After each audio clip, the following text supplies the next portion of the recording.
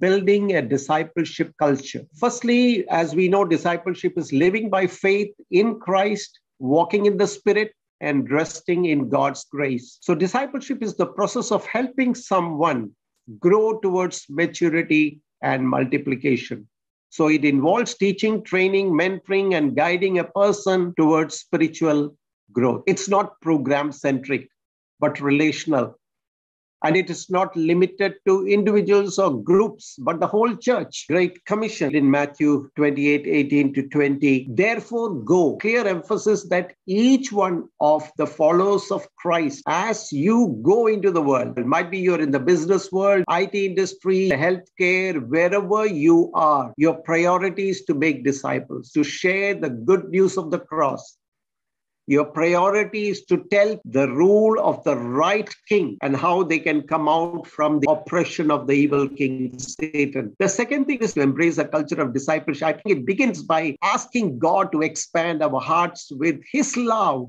God's heart is so big different cultures, background, dresses, different things. God loves all people. We are commanded to make disciples of all nations is uh, a link with the Abrahamic covenant, Genesis 12, 1 to 3. Through you, nations will be blessed. Paul is emphasizing that in Romans 4 16 to 25 and Galatians 3 6 to 9. It's the church, friends, you and I, that is called to bless the nation. The key to discipleship is obedience. Discipleship is a culture embraced by the church, God's community, group of redeemed persons who walk on earth today, giving glory to God.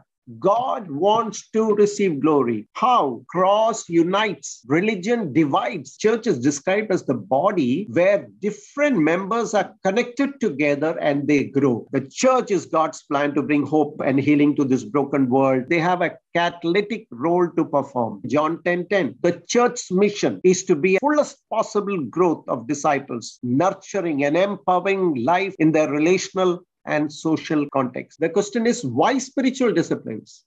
Why do we celebrate community?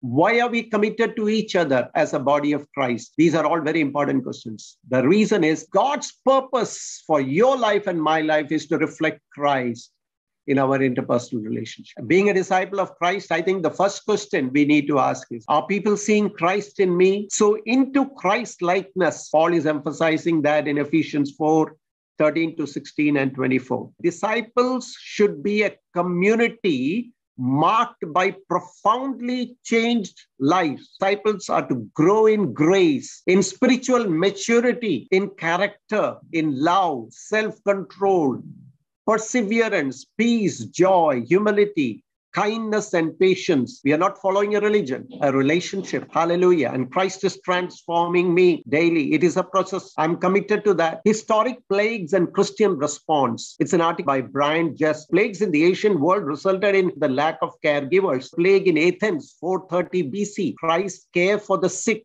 was counter-cultural plague that hit the city of Carthage in 252 AD. Remember, that was a time when Christians were being persecuted among uh, because of the Roman Emperor Domitian. The sick and the dying were neglected while bodies began to ply up in the streets with no one to bury them. Church did they chose not to ignore the crisis. It tells us, church, how important it is to have a true understanding of the church and be committed to the local body. We are not a group of perfect people. We are saints working in progress. We love each other. We show unconditional love. We extend the forgiveness of God. We extend the love of God in our interpersonal relationship, drawing it from the Lord with whom we are connected. Discipleship cannot be in isolation. It has to be fleshed out in our commitment to the community. A radical commitment to the community is vital, which can lead to the community embracing discipleship as a culture. It is such a culture that will help us to see both quality and quantity growth. Being committed to the local local church is non negotiable if we are disciples of Jesus Christ. So while personal disciplines have to be followed individually,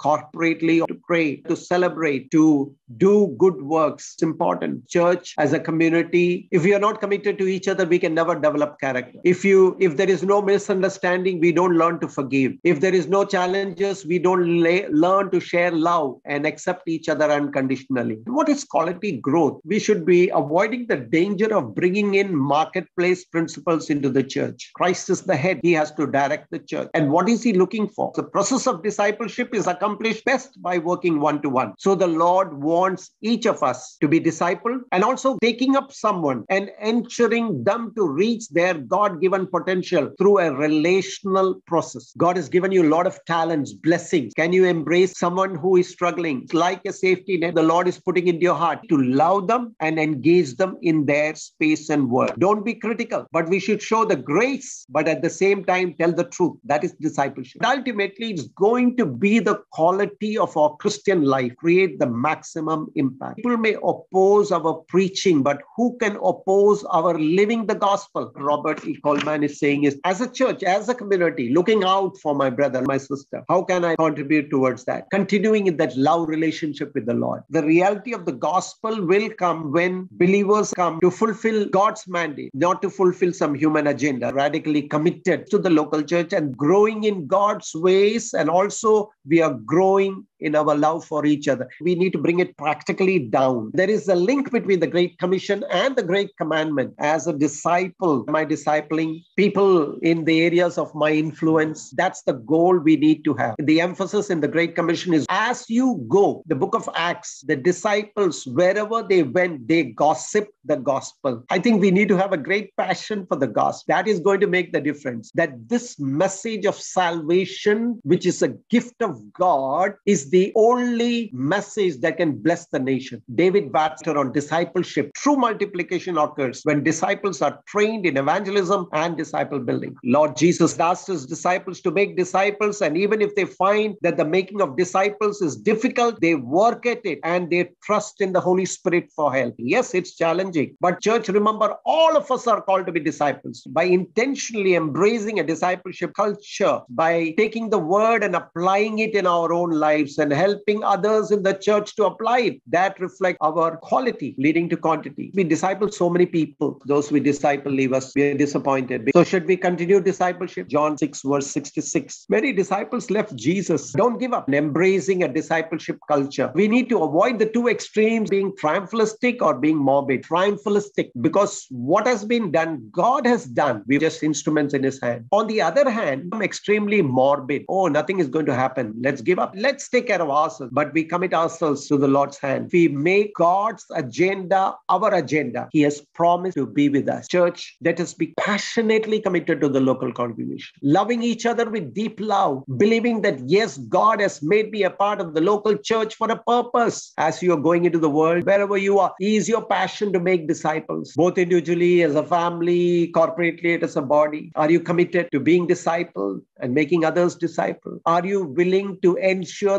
nobody in the church community is outside the net of discipleship. Each one is covered so that they move into the potential that God has. We are going to see a beautiful quality growth, which is going to spur quantity growth. May the Lord abundantly bless us as we ask the Lord to help us.